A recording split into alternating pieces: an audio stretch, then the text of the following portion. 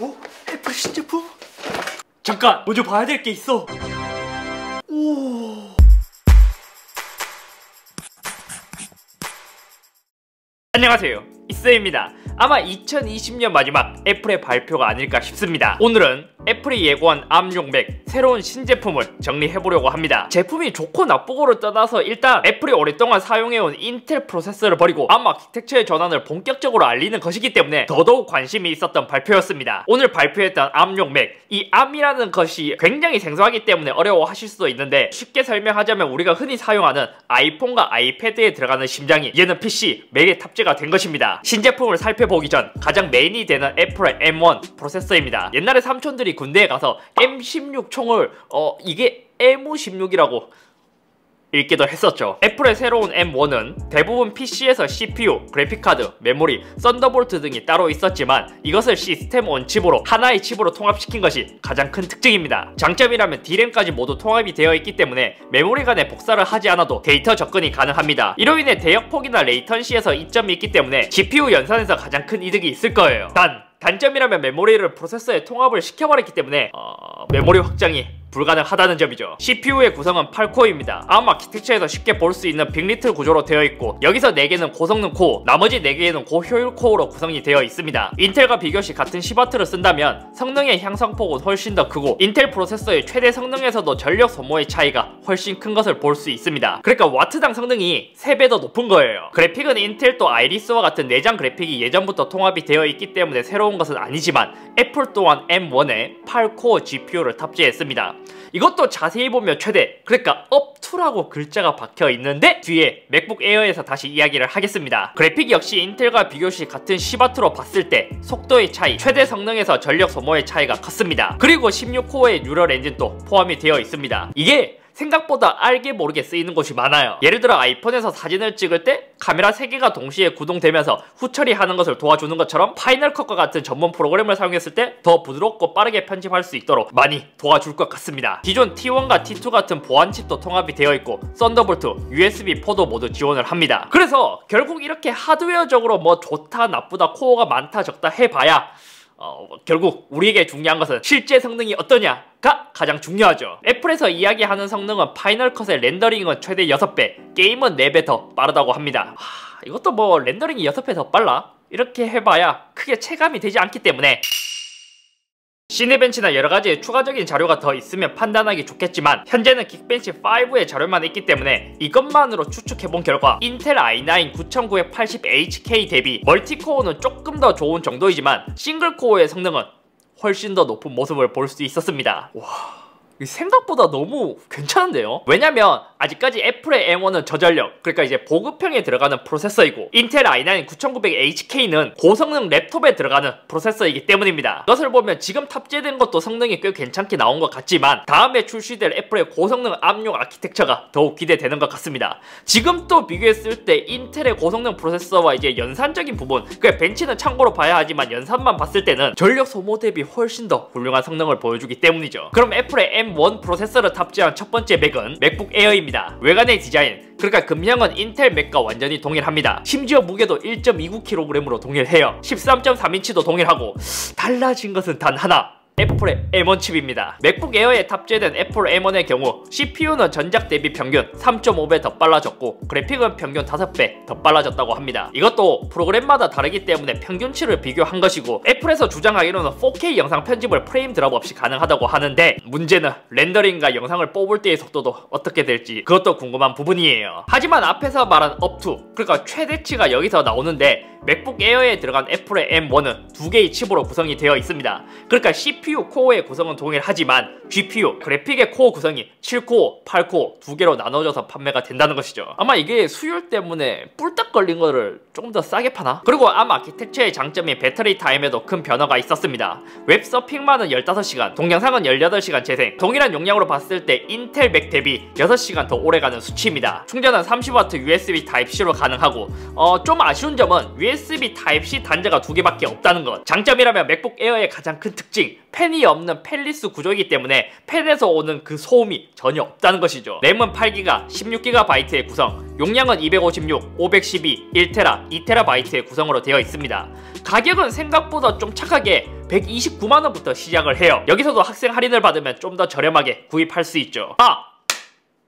충전기는 줍니까? 네! 충전기는 이번에 줍니다. 다음은 새로운 맥북 프로 13인치입니다. 맥북 에어와 마찬가지로 금형도 완전히 같아요. 기존의 맥북 프로는 프로세서의 차이도 있지만 크게 포트 2개, 포트 4개의 버전으로 나누어졌습니다. 얘는 2개의 포트 구성과 동일해요. 아마 이 새로운 M1의 썬더볼트를 지원하는데 이게 1세대이기 때문에 버스 용량 때문에 그게 이제 대역폭 때문에 USB Type-C가 두 개의 포트만 있는 것일 수도 있습니다. 추가로 모니터도 에어와 프로는 최대 한개 연결, 맥 미니는 최대 두 대까지 연결이 가능해요. 무게 또한 1.4kg으로 동일하지만 예전 맥북 에어와 맥북 프로의 차이가 가장 큰 것이 무게였는데 아 이제는 100g밖에 나지 않습니다. 프로답게 디스플레이는 에어보다 조금 더 밝은 밝기를 갖고 있고 다만 베젤이 조금 아쉽죠. 맥북 프로 역시 인텔에서 애플 M1으로 바뀐 것이 가장 큰 특징입니다. 하지만 성능은 또 맥북 에어와는 조금 달랐습니다. CPU는 최대 2.8배, 그래픽은 최대 5배 더 빠른 수치입니다. 만약 맥북 에어에 탑재된 것과 같은 클럭에 성능 차이가 없다고 가정한다면 팬이 한 개 더 달린 것으로 인해 실제 성능 차이는 맥북 에어보다는 성능이 더 높게 나올 것입니다. 배터리는 인터넷만 17시간, 영상은 20시간 재생이 가능하고 배터리 사용 시간이 확실히 기존 인텔 맥보다는 훨씬 크게 올랐어요. 램과 저장 공간 의 옵션은 맥북 에어와 동일하고 얘는 61W로 충전을 하게 됩니다. 이것도 봤을 때 아마 금형과 배터리를 동일하게 썼고 이제 프로세서만 다르기 때문에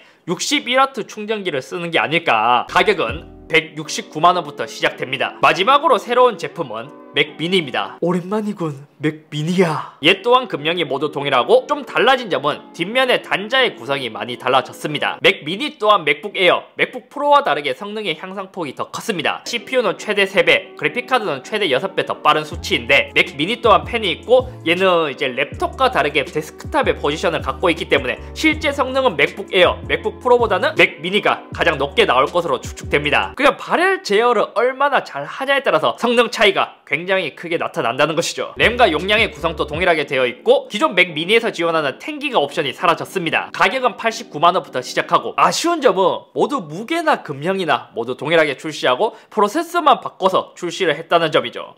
저는 개인적으로 새로운 bezel-less의 새로운 디자인으로 출시했으면 하는 아쉬움이 있었는데 어, 아직까지는 이건 디자인 너무 오랫동안 재탕하는 거 아닌가요? 자 이렇게 신제품을 살펴봤을 때 이제 궁금한 점들이 몇 가지 있습니다. 먼저 세 가지의 제품을 보면 팬이 탑재되 되어 있냐? 팬이 탑재되어 있지 않냐? 요것에 따라서 애플의 M1의 같은 clock 그러니까 급 차이를 두지 않았더라도 발열로 인한 throttling이 걸리면서 성능 차이가 꽤 많이 날 것으로 추측됩니다. 하지만 정리하다 보니 한 가지 이상한 점이 있었습니다. 대체로 CPU는 3배 그래픽은 5배에서 6배라고 하길래 일관적인 성능 향상처럼 보였지만 자세히 보면 맥북 에어는 초저전력 프로세서와의 비교. 맥북 프로는 저전력 프로세서, 맥 미니는 일반 i3 약간 모델별로 clock 조절도 있지 않을까 싶습니다. 결국 문제는 호환 성이 해결되었냐 안 되었냐에 따라서 이제 성공의 여부가 좀 갈릴 수도 있다는 것이죠. 제가 ARM 윈도우 10을 사용해봤을 때도 호환성이 많이 아쉬웠고 그나마 애플은 킬러 앱 위주로 잘 이것을 준비한 것 같아요. 그러니까 맥을 주로 사용한다면 전문 프로그램을 많이 사용하게 되는데 파이널 컷, 로직 이러한 킬러 앱들은 애플이 미리 이제 충분히 준비를 잘 한 것 같습니다. 가장 큰 건 어도비 계열의 프로그램을 지원하면 넘어가실 분들이 많을 것 같은데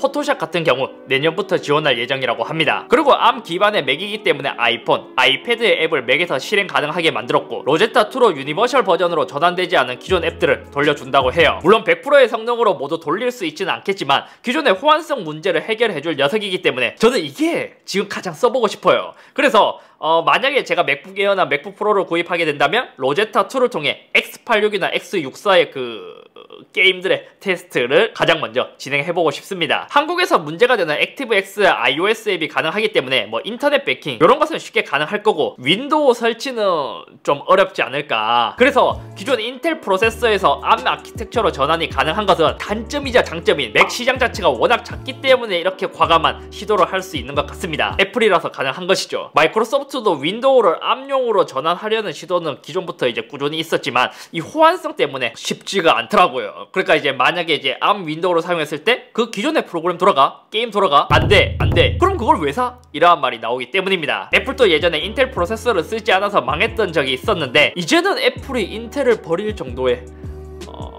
그그 시기가 왔고 이렇게 과감히 전환한다는 것은 애플도 이제 자신감이 있다는 뜻이니까요. 하지만 애플이 ARM으로 전환을 하면서 가격 그러니까 이제 가격 정책도 꽤 공격적으로 나온 것 같은데 어우 이게 제가 홈페이지에서 업그레이드 비용을 보니까 8기가 램에서 16기가 램으로 업그레이드를 하는데 거의 27만 원이 들어가요. 만약 호환성 문제만 제대로 해결하게 된다면 그 애플 펜슬 사용 여부에 따라서 아이패드를 구입하지 않고 이 ARM 맥을 구입하실 분들이 더 많이 늘어나지 않을까 싶습니다. 한편으로는 제가 이전에 말했다시피 많은 분들이 저한테 이제 새로운 ARM용 맥이 나오는데 맥북 프로가 필요해서 구입하려고 하는데 기다릴까요? 기다리지 말까요? 이렇게 많이 이제 질문을 해주셨거든요. 저는 그때마다 항상 답변을 했던 게 그냥 16인치 맥북 프로 같으면 이제 고성능 그러니까 고성능 맥북 프로 같으면 저는 무조건 그냥 어, 기다리지 말고 구입해라 라고 이야기를 했었습니다. 왜냐? 애플도 당분간 인텔 맥을 꾸준히 출시할 것이라고 이야기를 했기 때문이죠. 이 말은 지금 발표된 M1을 봤을 때 전력 소모 대비 성능 향상은 크지만